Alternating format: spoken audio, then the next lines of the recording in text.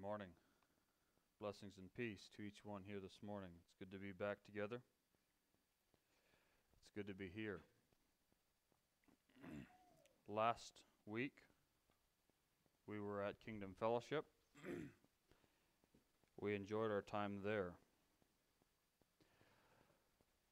This morning, I would like to share a little bit of what I shared there, a small part of it. But I'm going in a little bit different direction this morning.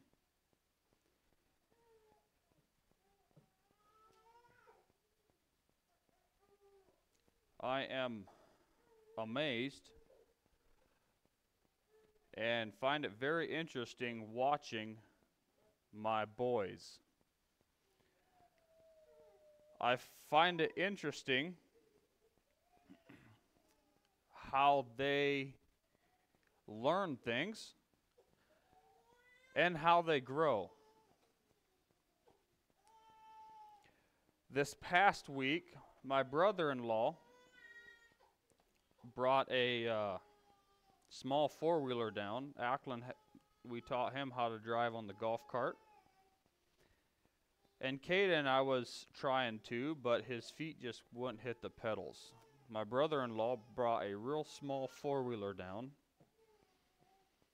And he's been here for the last two weeks and working on a property that he has.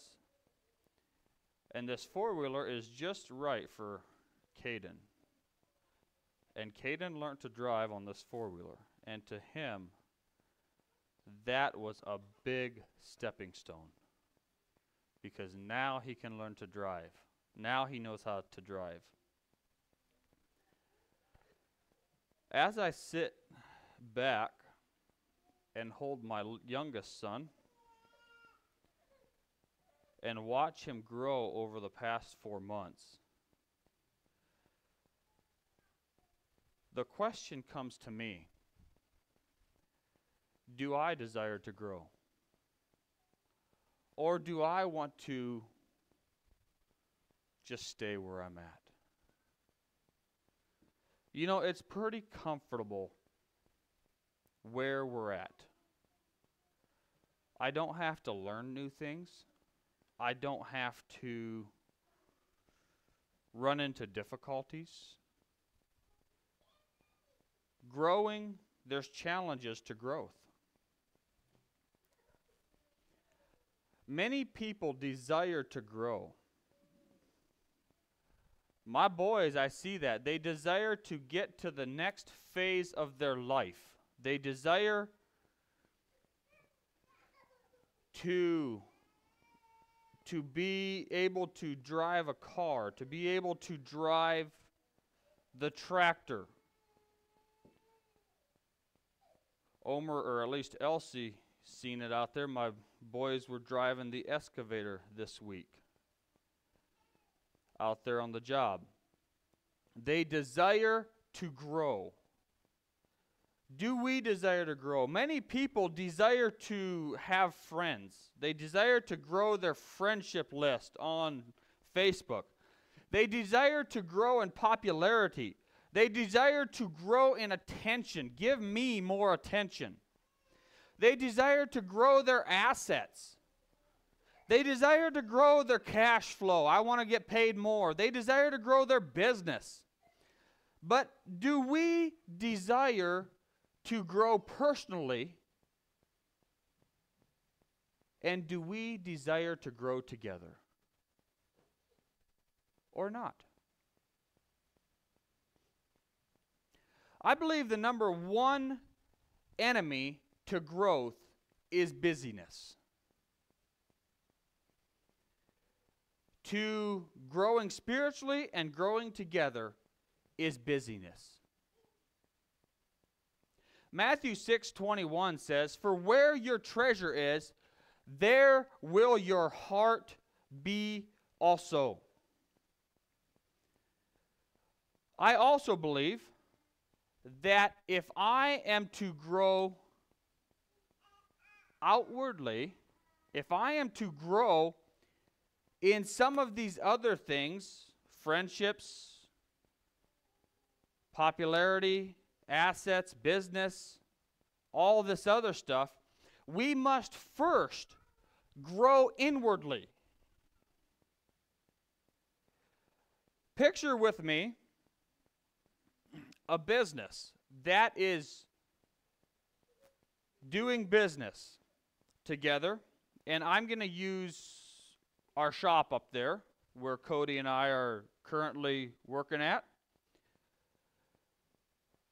Let's say we want to expand our customer reach, right? I, first of all, we together, first of all, need to grow within the company. We need to get the manpower to service the customers. We need to get the buildings that we need to store the assets. There, first of all, needs to be inward growth before there can be outward growth. The same is true in our personal life. If God is going to bless me with more friends, am I going to be able to grow personally and maintain the friends I have? Or am I going to have to drop those friends to get new ones? If we at, at Cornerstone want to grow as a church, then I believe we first of all need to grow together as a body. Growth starts within before it can grow without. Many times people desire growth. I want growth. But the structure that we're in cannot contain the capacity of our growth. Or we as a person, me as a person, am not ready for growth. So God wants me to grow within me before I'm ready for outward growth.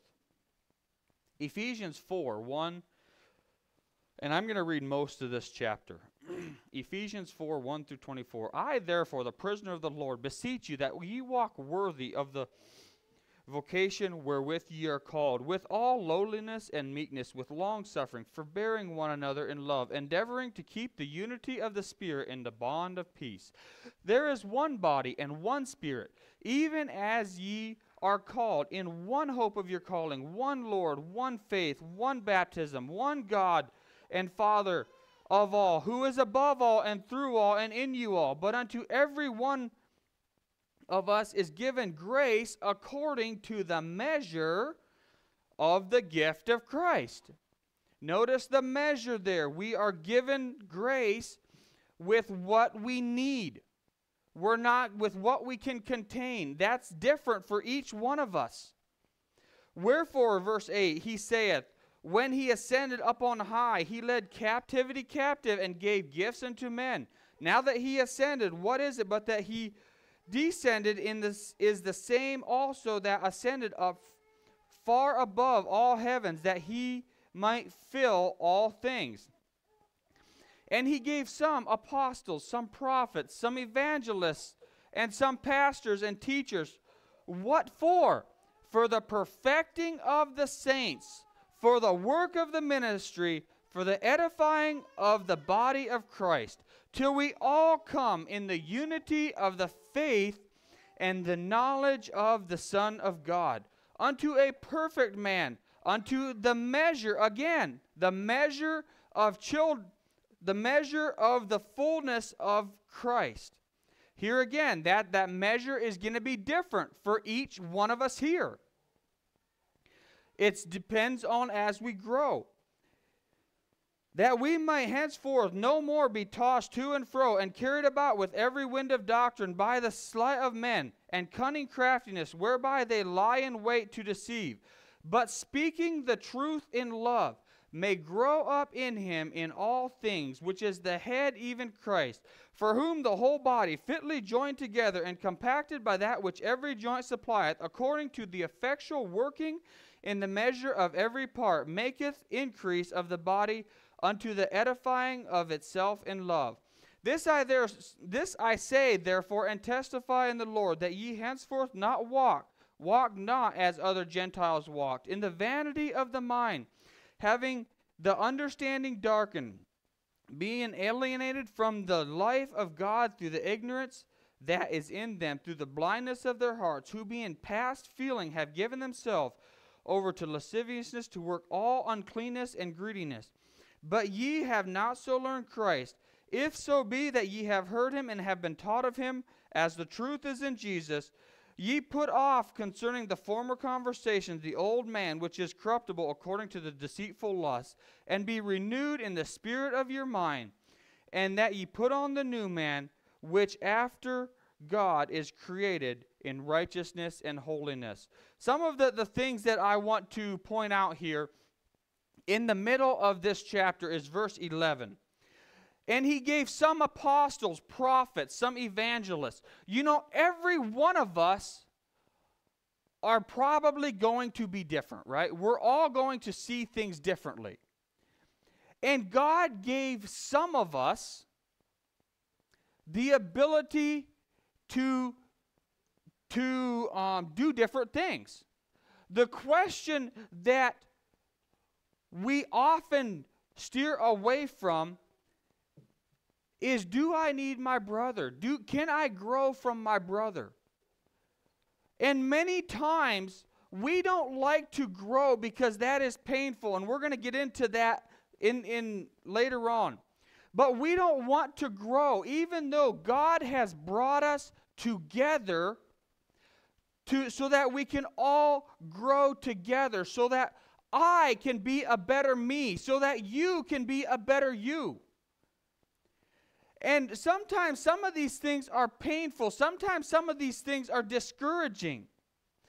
But it is in verse 10, it's God has brought us together till we all come in the unity of faith and of the knowledge of the Son of God.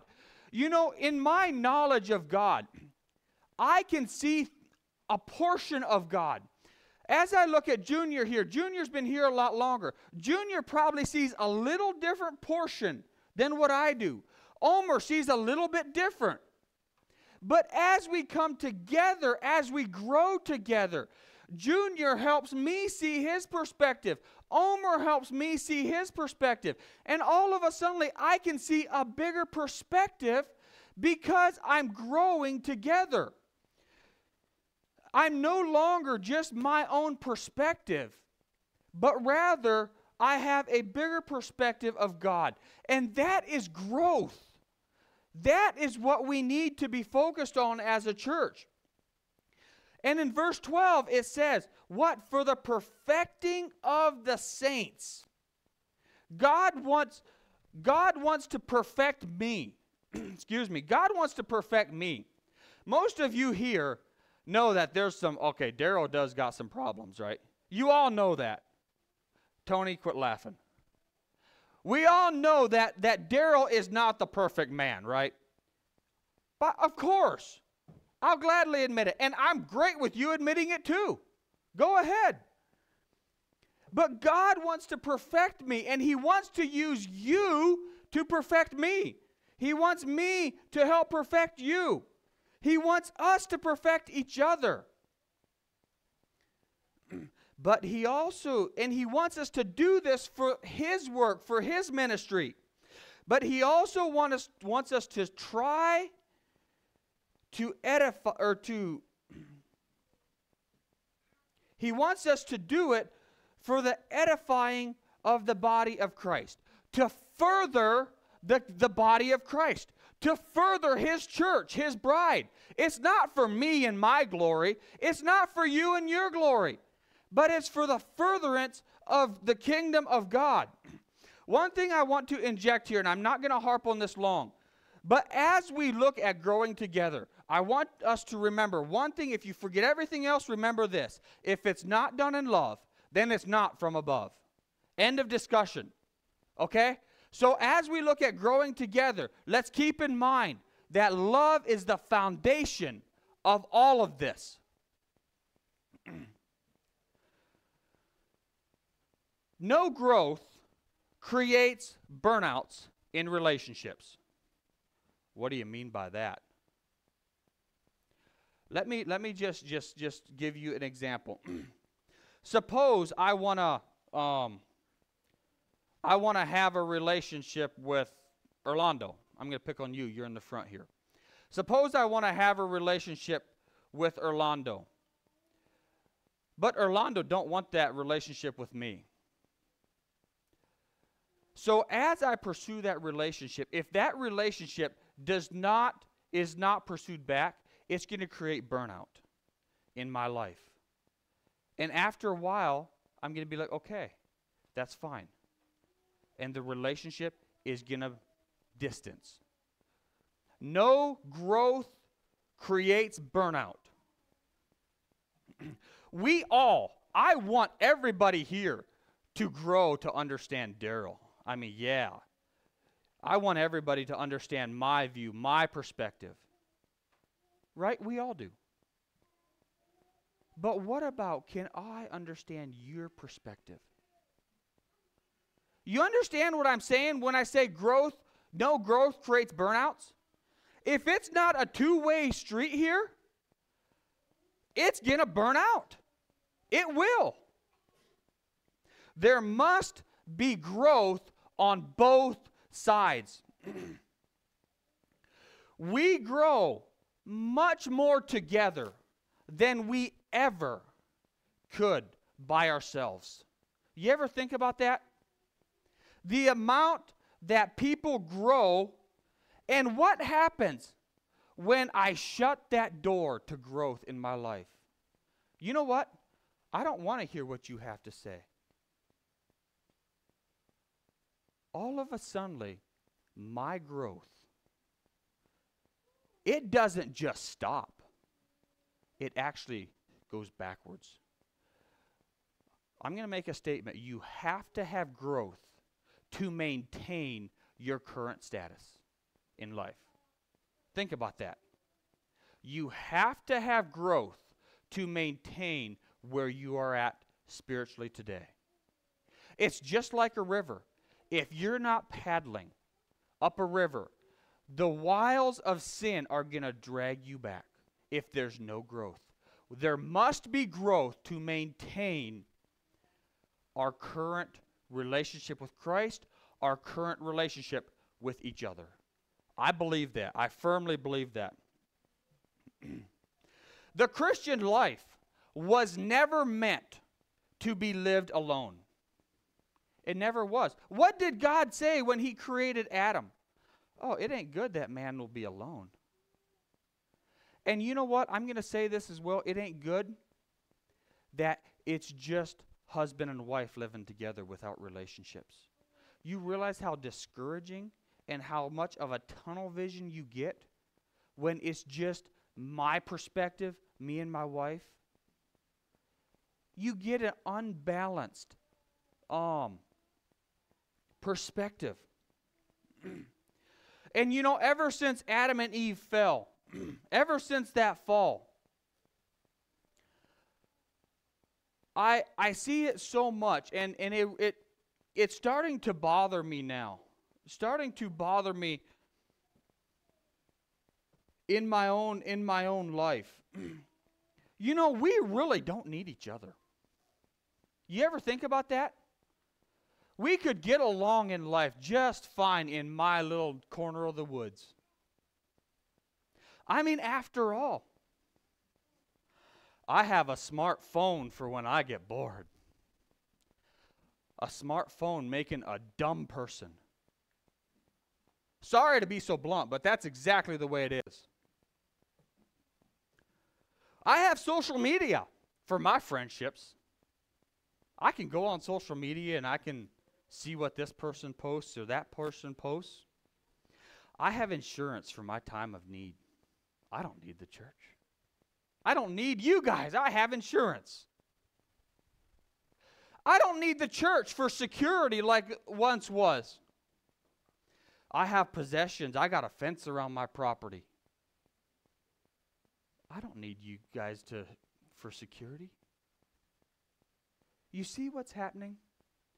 I personally believe that Satan has brought all these things to take the need of relationship and the need of growth away from God's people. I got a question here. How many of us have insurance? Raise your hand. Most of us. Insurance on our properties. Most of us. We all have insurance. What about on your cars? Oh, if you don't get to have insurance on your cars, you're going to get a ticket. Omer's gotten several calls from officers because they were following me and they run my plates and it didn't say that there was insurance on them. And for some reason, there was a little glitch in the system. Omer's gotten several calls. Just just 2 weeks ago I got stopped again. Officer come up. Where's your insurance? I gave him my insurance. Well, it ain't showing that you have it. I said, "Well, there's the proof." He was like, Well, it ain't showing you have it. I said, Well, I said, You're holding the proof. I'm sorry. I said, I don't know what's wrong. Well, you better talk to your insurance about it. And I totally forgot about that. That was with the white 1500. But we don't really need each other. And we definitely don't need each other to grow because why would I want to grow? I'm happy where I'm at.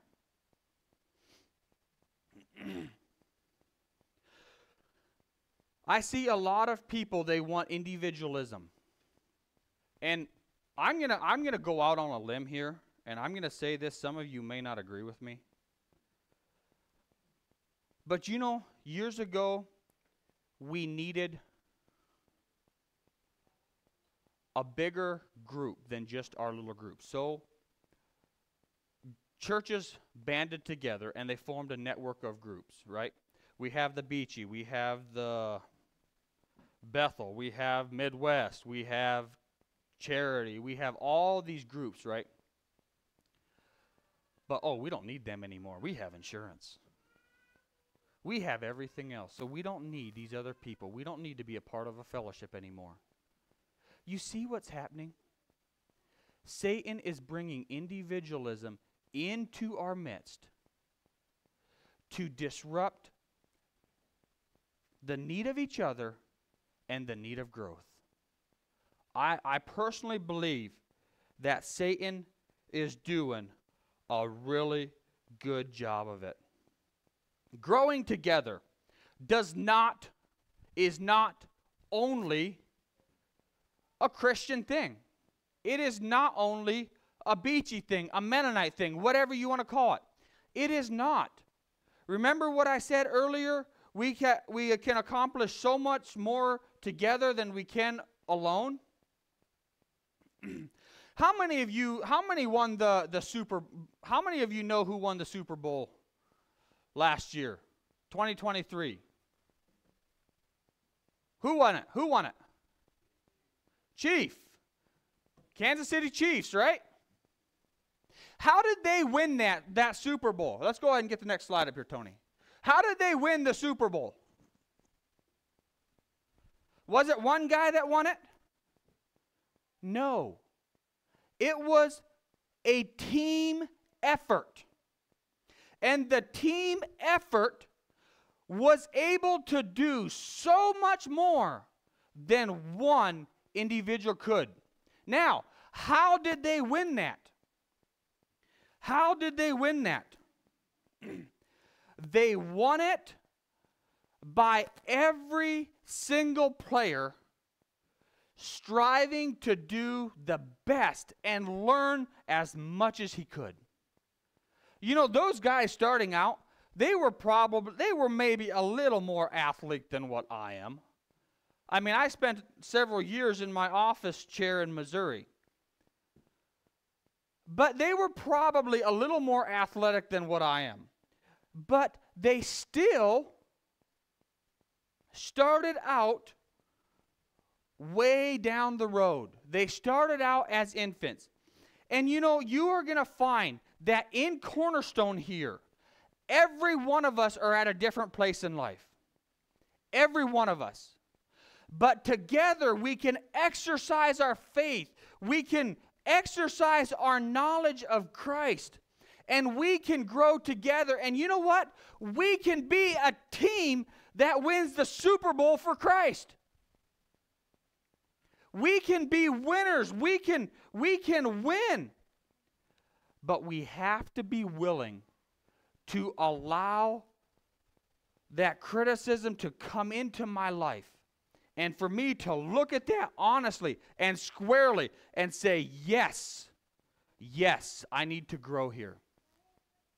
An incident happened this week at, at the job, and I use I'm gonna I asked Tony, and he said yes, I can use use this as an illustration.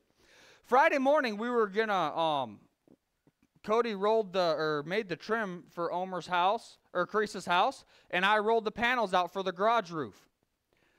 And Friday morning, I we're gonna I'm gonna get that roof on, and I wanted to get the the dormers, the the rafters on the dormers. And I I come to that job, and I wasn't. I knew I had to leave at 12:30. I knew that because we had a building to go move in the afternoon, and I knew I had to leave. And let me tell you one thing. I come on that job and I wasn't sticking in first gear. I was wide open. And I wasn't communicating, and I don't, Raymond, he didn't say nothing to me for some reason. I don't know why he didn't, but. but I, I hit that job wide open. And I was um, giving orders and telling them what we're, or I wasn't telling them what we were going to do. I was just giving orders. And I was expecting people to jump to my bark, right? And finally, Tony had enough of this. And he was like, What is wrong with you? And I looked right back at him and I was like, What is wrong with you? He was withdrawing. And I looked right at him and I said, What is wrong with you? And he looked at me and he was like, You come on the job, barking orders, and you never told us what we're doing. and it hit me. Ouch. You know, sometimes we are that way. I didn't see that. I had a goal and I was going to get that goal done. We did get it done. What? We got it done 10 minutes early, right? We got done what we wanted to accomplish. I didn't quite think we would, honestly after Tony made that comment. I was like, oh boy, this day's going to go down the tube fast. But it, it hit me. It hit me. Here I am. Do I allow somebody else to cause me, to allow me to grow? I stopped everything right there. I was like, all right, all right, I'm sorry. I stopped everything and I was like, this is what I want to get done. We're going to do this first. We're going to do the roof. We're going to get this covered in. Then we're going to work on the back dormer, then the front dormer. If we get it all done, great. If not, no big deal. We got it all done. Why? Why did we get it done? It was because somebody was willing to stand up and say, Darrell, there's a problem. You have a problem. And many times we look at life, we go through life, and I'm like, what is your problem, dude? Or Tony could have just shut up and been frustrated all day. But instead, we had a good day working together. You know, there are times and I, I'm just going to be right out front and honest with you. This thing of, oh, my bad. My bad? Yeah, right, my bad. Say I'm sorry, dude. It is, yes, it is your bad, but apologize. It's not just, oh, I shouldn't have done that. No, let's say I'm sorry. My bad is not an apology. It's just saying that, yes, you were bad, which we all knew that. All you're doing is admitting what everybody knew. But an apology goes so much farther. I'm sorry. Let's say that together. I'm sorry. See, it wasn't that hard. Now, what's next? Can you forgive me? Let's try that one. Can you forgive me? See, that ain't even hard. But yet my pride swells up, and oh, I can't say I'm sorry, because after all, you were withdrawing too. Well, there's a reason.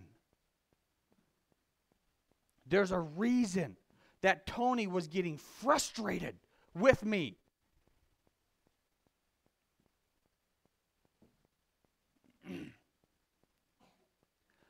One of the things that I see so much in, in growth in, in interpersonal relationship, and I have I have been told this that you know people people quote 1 Timothy 6 6, but godliness with contentment is great gain.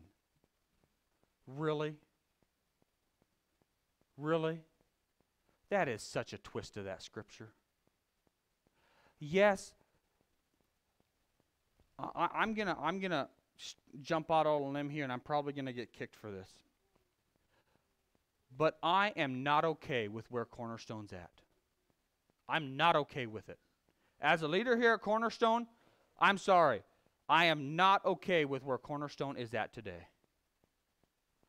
But yet, I am perfectly okay with where each one of you are at today.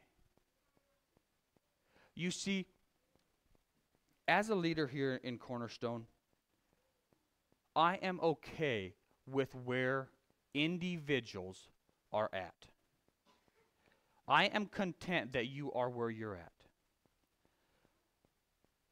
But it is my desire for myself and for each one of us here that we do not stay where we're at, but that we grow.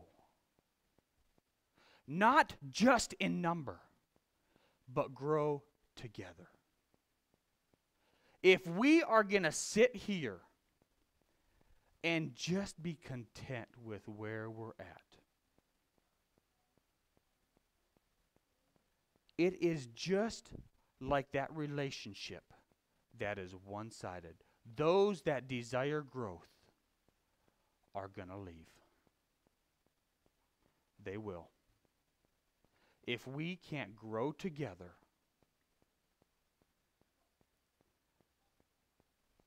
there's going to be a going away.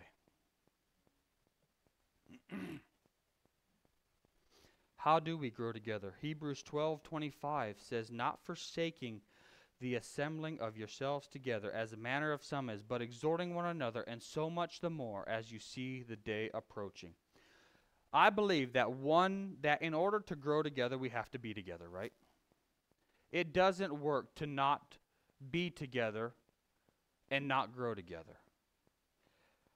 My wife and I we we love having people at our place and we love getting together with people. But I believe that is so vitally important for church growth, for friendships, is being together.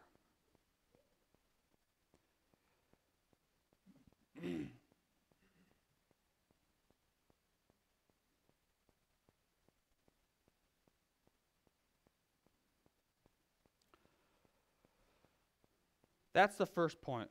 How do we grow together? We grow together by being together. We all start out as infants. Like I said, we're all at different places, and God wants to take us to different levels. There will be a difference in each one of us. Every single one of us. There will be a difference. I just want to emphasize that. However, without a relationship, there can be no discipleship. You understand that? We cannot, if Orlando does not have a relationship with me, how in the world is he ever going to feel free to come and tell me, Darrell, you know what? You come in here like a freight train on this job. There has to be a relationship before we can disciple each other.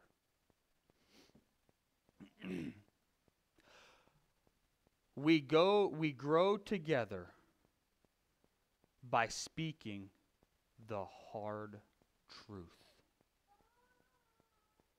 What do you mean by that? Ephesians 4:15 says, "But speaking the truth in love may grow up in him in all things that is the head even of Christ." Proverbs 27:17 says, "Iron sharpeneth iron, so a man sharpeneth the countenance of his friend." You know,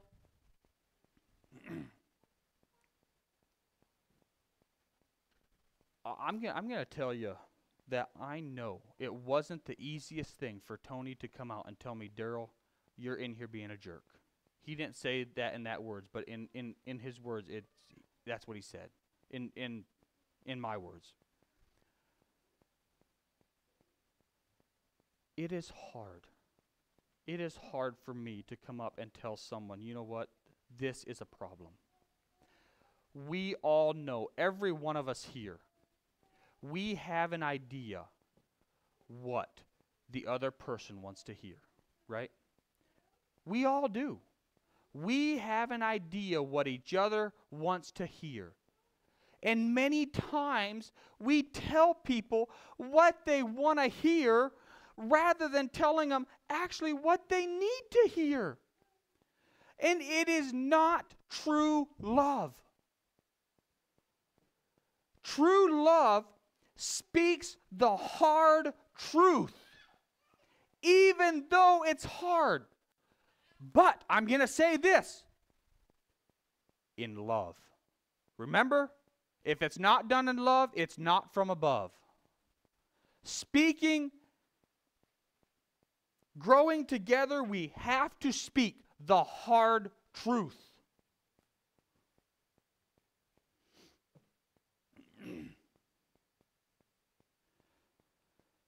Sometimes we don't see areas that we need to grow. Am I open to accepting others' inputs or do I accuse them of, oh, you're just being critical? That's all you're doing. You're just critical of me. First of all, I want to say, what a spoiled brat. If that's my attitude.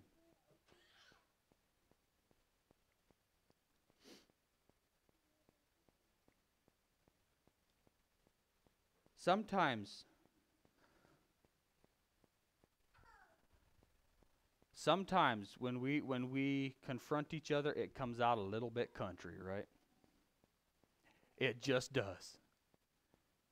We don't we don't exactly we don't exactly think of the exact precise words that that we may need and it's humanity. After all, I have faults too. I have them. But can I take what come out a little bit sideways or come out a little bit country and accept that and still grow from it? And one thing that I'm gonna that I'm gonna just gonna inject here it may not all be 100% true. In fact, there's a good possibility that at least 50% of it should have been left in the dump, and the other 50% has some weight. But can I still accept that criticism, that growth, and grow from it? We grow by reading together. Titus 4:13 says, "Till I come, give attendance to reading, to exhortation, to doctrine." And earlier on, exhortation would have would have come in that um, with speaking the hard truth. Do we we grow by reading the scriptures together? Do we do that as a church? We do it Sunday mornings. I know some churches that they just have a time of Bible reading on some Wednesday nights. Um, in Wisconsin, where I grew up, there was one Wednesday night a week that there was nothing planned. You just got together and read Scripture. I don't know. That's an idea.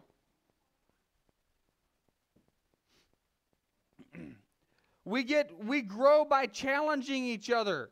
2 Timothy 3:16 All scripture is given by inspiration of God and is given for and is profitable for doctrine, for reproof, for correction, for instruction, for righteous in righteousness. We grow together by challenging each other. Darrell, is this really what you wanted to say? This is what I understood. Did I understand you right? We grow together by challenging each other. And lastly, we grow together by preaching, through the preaching of God's word. 2 Timothy 4 2 says, Preach the word, be instant in season, out of season, rebuke, reprove, rebuke, exhort with all long suffering and doctrine. You know, I just want to say that I, as a person, I had said earlier that I am not okay with where I am at, but yet I am content with where God has brought me. But friends, I want to grow. And I'm to I'm just going to tell you something that I I just told my leadership team.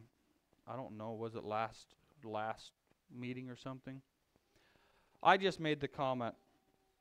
I said I as a as a person would like to go do or go somewhere to learn to be a better pastor here for the church. If not for the church, for my own personal benefit. I don't know if it'll trickle down.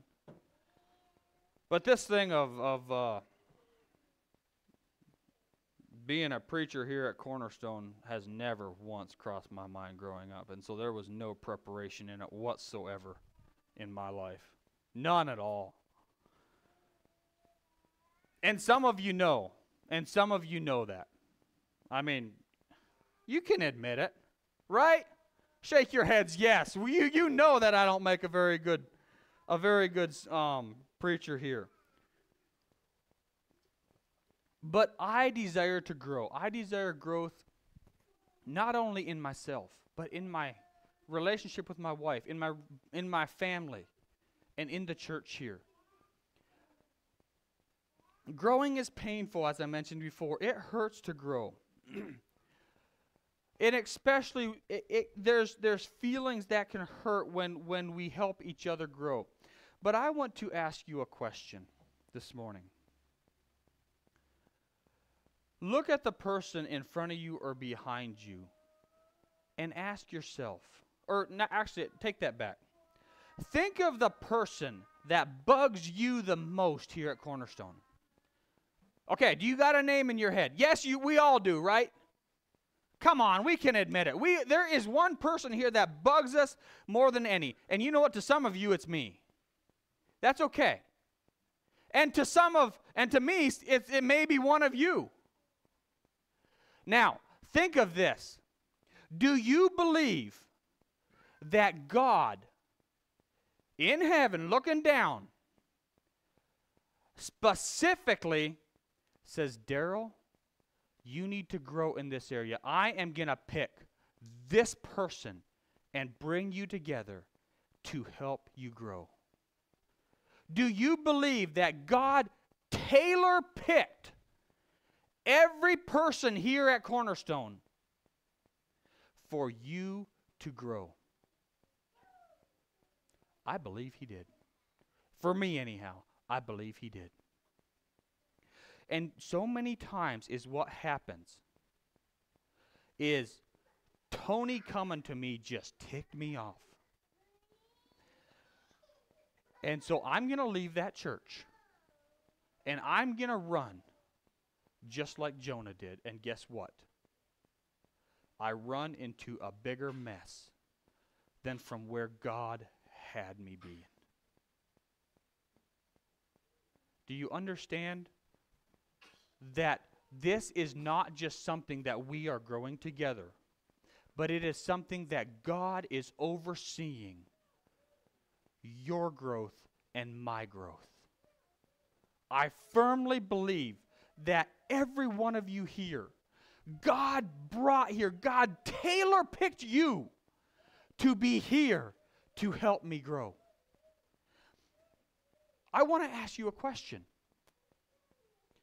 If God tailor picked you to help me grow, are you willing to?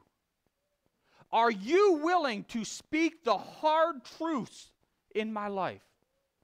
Now, it's not something that we keep nagging on and, and harping on and time and time again. No.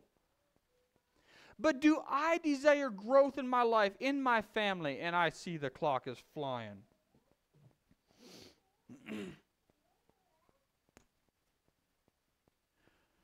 Ephesians 4:16 says for whom the whole body fitly joined together and compacted by that which every joint supplieth according to the effectual working in the measure of every part it maketh increase of the body the edify unto the edifying of itself in love.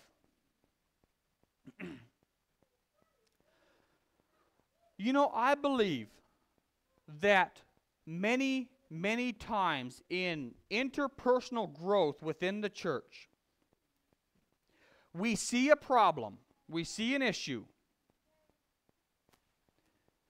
And can I say it has a band aid on it? And what, what happens when you slowly pull a band aid off? It hurts, right? The other day, one of my boys, he had a cut, actually, it was several weeks ago, he had a cut and or a scratch or something, and he was trying to get the band-aid off because it was healed. He was done with it. And it hurt to pull that band-aid off. And so I was like, I was I come to him and I was like, hey son, I said, um, should dad help you? Yeah, but it hurts. I said, okay.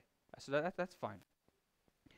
So I carefully took him on my on my knee and I was like, hey, look over there. And when he looked, I ripped that band-aid off. And he was like, ouch, oh, that didn't hurt at all.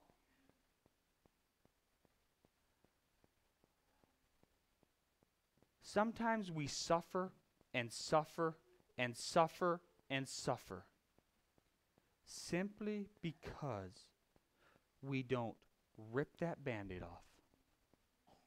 You know, things heal when they're exposed to truth and light. That is where healing comes from. And it does no good to tiptoe around people's feelings. It does no good. Let's just take that band aid, lovingly rip it off, get it out in the open, and that is where things can heal. I got a question. Are you willing to do that for me? Are you? I want you to.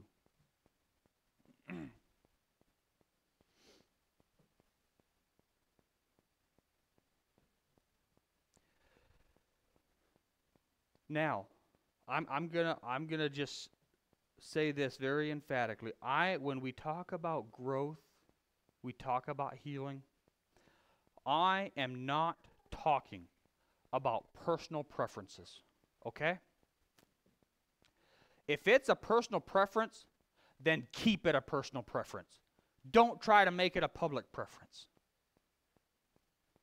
We are not talking about personal preferences here. We are talking about biblical growth, spiritual growth. when things get hard, do I ask God, God, what are you trying to teach me? What do you want me to learn from this? There is no excuse for not growing. Where you are today is not where you need to end up. Where I'm at today is not where God wants me to end up. He wants me to grow more like Him. 1 Corinthians 3 6 and 7, 6 through 10 says, Paul says, I have planted, Apollos watered, but God gave the increase. So then neither is it he that planteth anything, neither he that watereth, but it's God that gave the increase. Now he that planteth and he that watereth are one, and every man shall receive his own reward according to his labor. For we are laborers together with God. Notice that we are laborers together with God. In other words, you are supposed to be a laborer with God to help me grow. You are. You're a laborer with God. Ye are God's husbandry. Ye are God's building, according to the grace of God which is given unto me. As a wise master builder, I have laid the foundation, another buildeth thereon. But let every man take heed how he buildeth thereon. You know, many times we we don't want to share our experiences. We don't want to because we feel that people will be critical of our experiences, right? And some people are. But let me tell you, that's an area they need to grow in. That's an area they need to grow in. Do we share our experiences with people, with each other? Do we encourage each other to be faithful, to maintain? You know, many times people want us to weep with them when they weep. But let me tell you, when we want people to rejoice with us, oh, you're just proud. Get that out of your head. The Bible says, rejoice with them that rejoice, weep with them that weep. Can I rejoice when I see another person growing? And I'm going to tell you right now that this does not only extend in the church as I mentioned. We we talked about the the the football team, the Giants. I was kind of happy about that last year. I mean because that's where I was from, Missouri, right? So I was kind of yeah. Second Peter 3:18 says, But grow in grace and in the knowledge of our Lord and Savior Jesus Christ. To him be glory both now and ever, both now and today and to the day of eternity. Amen. That's a different transa- tra- translation. You know, a person, a person that per- pursues relationships and growth is going to live a life filled with joy. They're going to live a life that is successful. Because I want to tell you something there isn't a thing in this world that is not based on relationships. Did you know that? Other than self. Other than self. Work community, job, everything is based on relationships. Do we build them relationships? Being confident of this one thing, Philippians 1 6 says, Being confident of this very thing, that he which hath begun a good work in, in you will perform it until the day of Jesus. Go ahead and get the last slide up here, Tony. God wants to continue to grow us. And He, just because we don't want to grow, does not mean that God is going to let off of us. He's going to bring somebody else into our life because God's goal is to is to perfect us. And he is going to pursue that perfection until until the day of Jesus Christ, until God comes back. He's going to continue to pursue perfection in my life. As I mentioned before, we're all on different stages. Go ahead and get the last one up, Tony. We're all on different stages in our growth life. Are you okay with that? We should be. We should be okay with this being Junior, this being Omer, this being Freeman. And you know what? Darrell's right here or even back here? Are we okay with where we're at? But yet, do we desire this person to be to actually be bringing forth fruit? Do we desire growth? That is my goal for Cornerstone is that we grow together that we not stay where we're at, but that you, as a church, can help me grow. That we can grow together for the furtherance of God's kingdom. Let's bow our heads for prayer. Father in heaven, I thank you, Lord, for the blessings that you have given to us. Thank you, Lord, that you are the one that gives the growth, that you are the one that desires us to grow. Father, help us to not be be lack in growing. Father, help us to to strive for growth within our own personal life, within our within us as a body, within our brother. And Father, help us, Lord, to be willing to accept, to be willing to exceed, to receive the the critiquing that you have from that you have for me through our through the church here, Lord. God, I just pray that we would grow and to be a beautiful vessel for you. Father, help us, Lord, as we go from here. Help us to, to strive to grow in our relationship with you and, and with one another, Lord. Father, I just pray that you would bless each one here. Father, we commit this service, we commit your word to you in Jesus' name. Amen.